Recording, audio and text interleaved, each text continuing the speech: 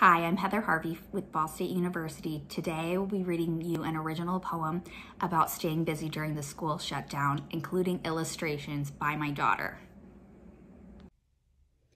What to Do Author Heather Harvey, illustrator Isabella Flynn.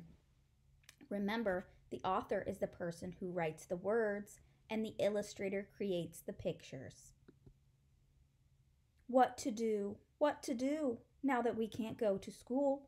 Should we sing a song or stage a play? How can we have fun today? What to do?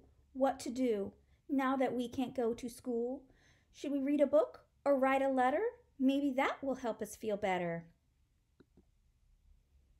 Can you help me start this next page? What to do? What to do now that we can't go to school? Should we build a fort or ride a bike? We can still do things we like. I hope you enjoyed our read aloud today. Please take a moment to leave a comment sharing some ways that you have stayed busy since school let out.